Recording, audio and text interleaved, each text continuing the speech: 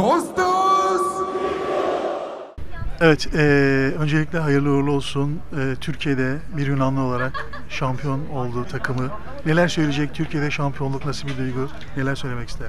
We work very hard for this and Ee, çok çok mutluyum. Mükemmel bir duygu tabii ki. Geldiğim ilk sene burada hem kupayı kazandım hem Türkiye kupasını hem ligi kazandım. O yüzden e, çok mutluyum. Diğer taraftan tabii ki ben mutlu olduğum için otomatikman Yunanlılar da mutlu. Kendi ülkemde de çok mutlu oldular bu e, kupalara. E, ve çok çalıştığımız ve hak ettiğimiz bir şampiyon kup- kupa oldu diyebilirim ikisi için de. Türkiye'yi nasıl buldu? Türkiye'de nasıl karşılandı? Hayal ettiği bir ortam mı? Alışamadığı bir şeyler oldu mu? Uh, Ee, geldiğim ilk günden beri hiçbir adaptasyon sıkıntısı çekmedim. Öncelikle takımla başlayayım. Herkes beni burada inanılmaz iyi karşıladı. Ee, ilk günden beri sanki çok uzun zamandır Galatasaray forması giyiyor gibi hissettim kendimi. Diğer taraftan e, İstanbul olsun, bütün genel anlamda Türkiye'ye alışmam da çok e, kısa sürdü. Çünkü insanlar çok arkadaş canlısı ve çok yardımseverler. Yabancılara karşı bakış açıları çok iyi. O yüzden e, çok sıcakkanlılar. En ufak bir problem çekmedim. Bir tek sıkıntım yemekler ama o da aslında pozitif anlamda çok lezzetli yemekleriniz var. O yüzden onlara onlarla ilgili biraz sıkıntım oldu. Peki eee, şampiyonluk golü belki de o attı. Aksar maçında artık uzatmalar oynanırken herkes ümidi kesmişken gol attı. O anda neler yaşadı? Sonra neler yaşadı? Bir de üçlü çektirme olayı var. Bir de ondan bahsedelim. Yes, was important goal. Ee, çok önemli bir goldü, çok anlamlı bir goldü ama tabii ki sadece benim attığım gol değil. Bu sezon boyunca bakılırsa çok önemli goller atıldı. Şampiyonlukta çok önemli payı olan goller atıldı. Tabii ki benimkisi de çok güzeldi. Ama burada önemli olan nokta bence hocamızın bize her zaman empoze ettiği, kesinlikle sonuna kadar mücadele etmemiz gerektiği, sonuna kadar savaşmamız gerektiği ve er ya da geç biz bu e, kupayı alacağımızı bize hocamız çok uzun zamandır söylüyordu zaten. E, çok büyük puan farkları varken bile bize hep söylediği bu takım sezon sonunda şampiyon olacağı yöndeydi. Bize inancı her zaman tamdı, bütün ekibi inancı tamdı. Bize de o güveni aşıladığı için biz de bugün şampiyon olduk. E, üçlü çektirme olayına gelince tabii ki ilk defa öyle bir şey başıma geldi. Daha önce de kimse öğretmemişti ama şimdi artık gayet iyi biliyor. The Hazır yani. Has, now you are ready to make one, two, three, yeah?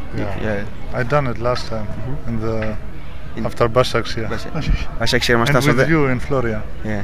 Başakşehir maçında bir üçlüsü var statta. Bir de beraber Flora'da e, taraftarlar geldiğinde bir üçlü çektirdik. O yüzden üçlü konusunda çok ilerletti kendini. Peki Fatih Hoca ile ilgili neler söylemek ister? Gelen her futbolcu, yabancılar özellikle Fatih Terim'i bir baba gibi tanı- tanımlıyor.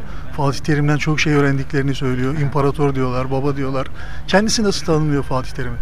İt's very good person and uh, Kendisini zaten buraya gelmeden önce de tanıyordum. Ama buraya buraya gelip Galatasaray forması giyip onunla beraber çalışma fırsatı bulduğum için çok mutluyum. Şimdi daha da iyi tanıyorum kendisini.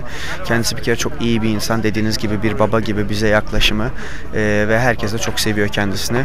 E, buranın da patronu zaten. E, o yüzden çok çok mutluyum. Galatasaray'ın bir parçası olduğum için, Galatasaray takımında oynadığım için diğer taraftan da Fatih hocamla beraber çalışma fırsatı yakalayıp ondan birçok şey öğrendiğim için çok mutluyum.